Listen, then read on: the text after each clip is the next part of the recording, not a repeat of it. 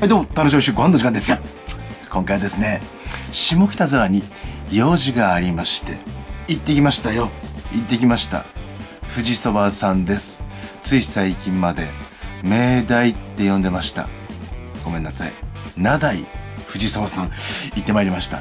もうめちゃめちゃ久しぶりでねカツ丼食べたいなカツ丼食べたいなどうしようかなとか思ってたんですけどカレーも食べたいしもうそばももちろん食べしたい 食べたいしどうしようかなっていうふうに考えて食べてきました。これを食べてきました。どうぞご覧になってください。よろしくお願いします。どうぞ。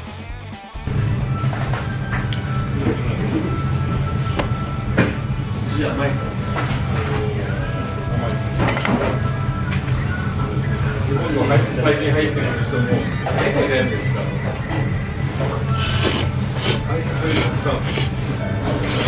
あいつそうじゃん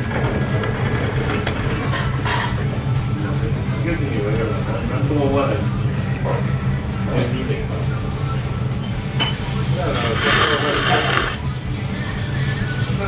竹内さんどう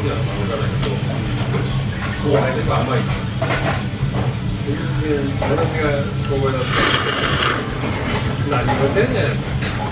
言われることやるだけ言ったんなんかしょうがないでそれ。は違います英語もやめるけど甘すぎるそんなあいつにいけないだからあいつが一番怒ってるのは笹川さんだったらあまりにも集合しなすぎるすぎる営業と営業である竹内さんもあの笹川に比べた場合あまりにも仕事量が違うもうちょっとしっかりなるんだから笹川さんと相田さんがもうちょっと仕事の仕事してがダメです俺言えねえんだけどあいつはすげえみたいなそれを聞いていたら何て言うんで。そうだね。だな。だな。俺はなんで。パパ茹でましたので。俺みんなが言うから。俺みんなが俺が好きだあいつはそういう意見めちゃくちゃあのあの辺の人たちは甘いし、何にも仕事してない。だから最近飲んで、やったりして、やめながらやってやってるだけですよ。あなたに教育があるんですよ。文章ど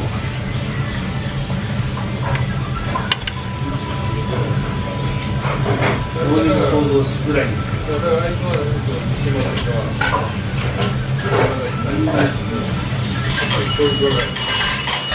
がやらなきゃダメだし、みんなやらないし、私が教育するし、ちゃんとやるんですけど、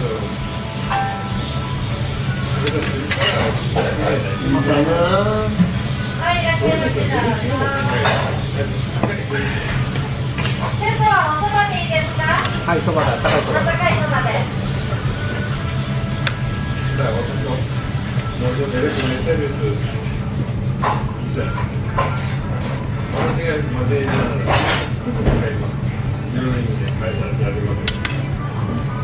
そうね。やりたいことが、もう苦手なタイプだ私が元気になったらやりたいことなんですよ。やりたい人もやらない人もいるんですよ。すごいやらないけど、いかじですか？そういうふうにやるから、そんなに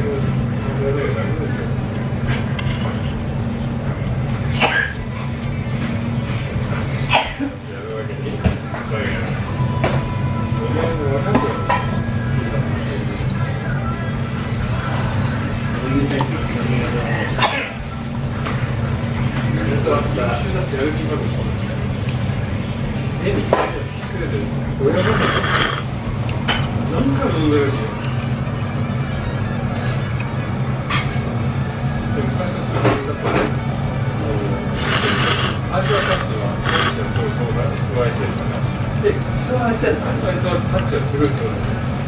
タチのゾーンはすごいんだ。しろさいいん。いやそれはダメだ。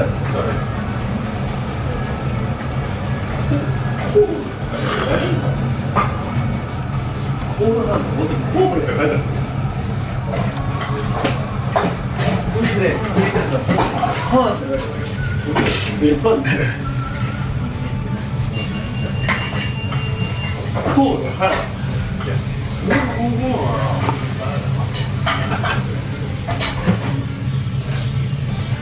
丈夫かな？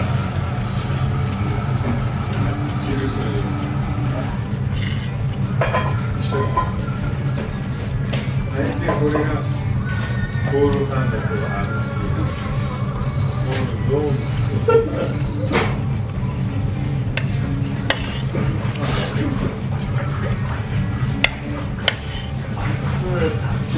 してんだあの、あの人がいる。あいつはすごいそうですよ。で、本当にいなくなって今のが良くなったって言わないの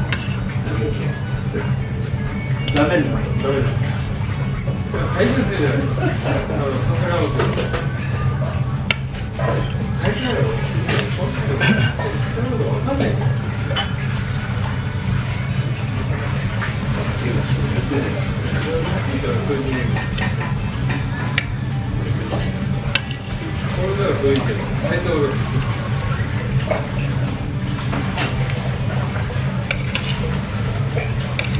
下の人間で頑張ろうねって思って話がねそういうやり方ですその暑さが出てるのどう合うのかなわかんないそんなのアプリから出ていうのあの圧を圧をと俺これやり方が忘れてない唇がそうなっちゃうねありがとうございます。あ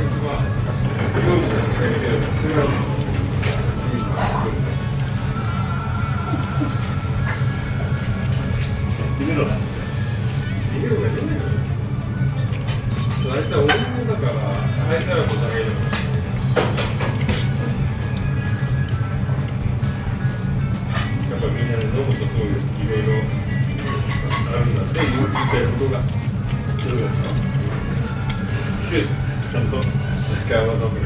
誰が一番面白いって言ったらいろいろだありがとうございます。次の41番のお客さんどうぞ。受けるパターンやった方がいいかなやってないわいやあストップストップストップオペ入るえ、花澤さんもそうい誰が一番弾けになったらうんみんなすごいあのみんな全員だって全員言ってるそうね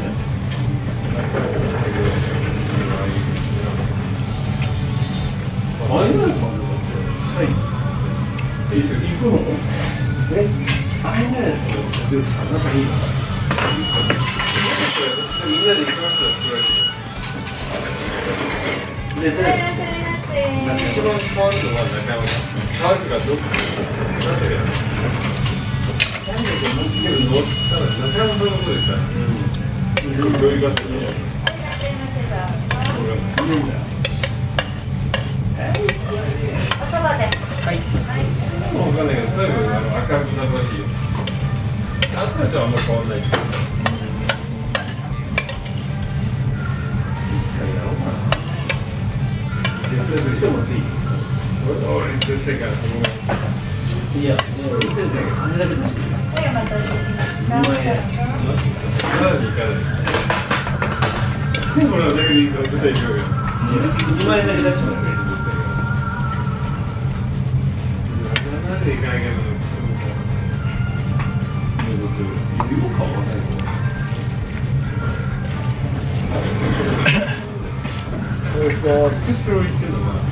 けだしはい、お待たせしました。うまいねまだに行かない。来てもらうだけでいいから絶対行くよ。2万円だけ出してもらえばいいなんで行かなきゃいけないのすぐか指も顔わかんないこれさ、福城行ってんのが、だけど、そば。はい。ちょっとどうぞ。全然嫌うでいいから。18日は金